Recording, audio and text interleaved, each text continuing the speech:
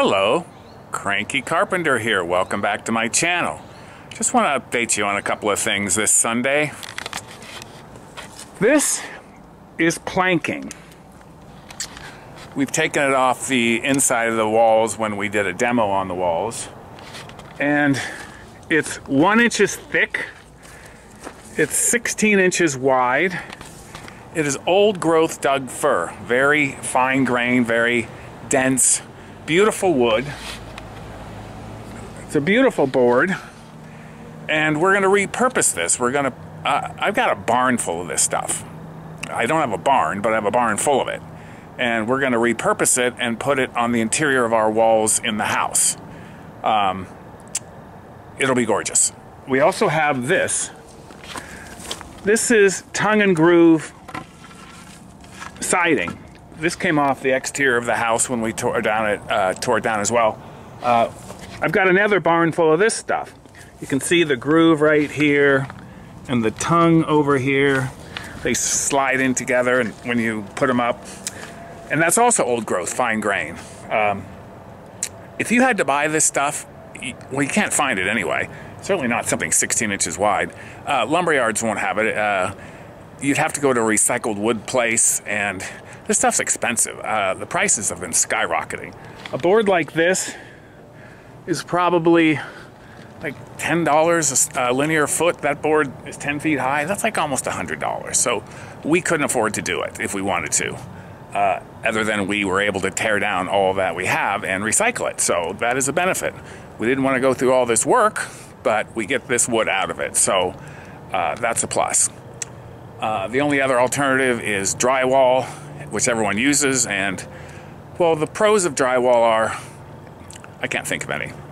So I love this stuff, and I want to do the entire interior of the house with this wood because it'll be gorgeous.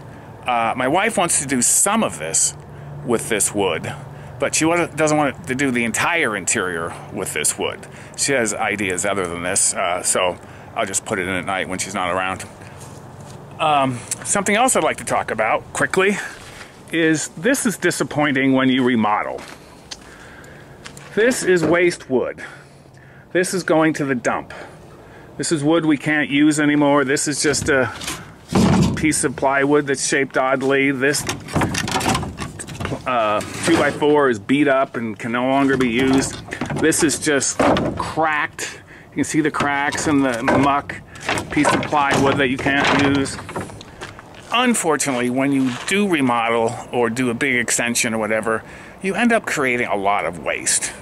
I've been to the dump a hundred times with uh, waste, waste wood that I can't use.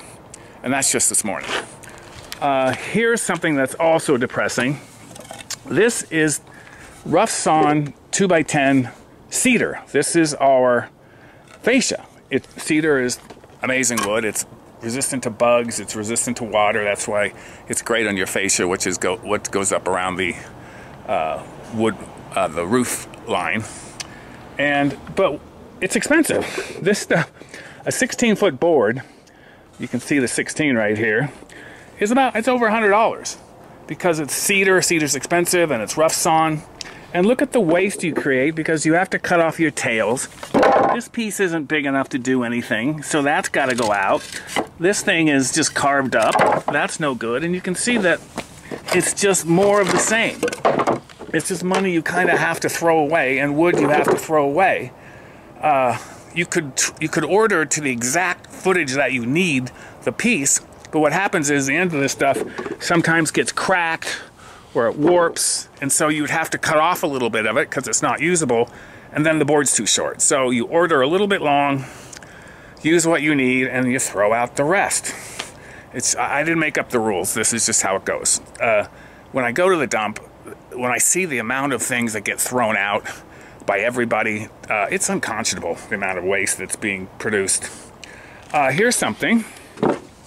This board, you can see right here, has a hole in it.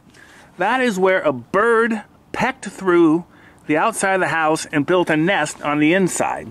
This is all bird crap and you can see it right here and so I was just going to throw this out, but I think I can recycle this. I'm to I'm to put it inside uh, Elizabeth's uh, clothes closet. But anyway, that's just the update for today. Uh, thank you for watching, as always, to my many dozens of fans around the world. Please subscribe if you can, and thank you for watching again. Cranky Carpenter signing off.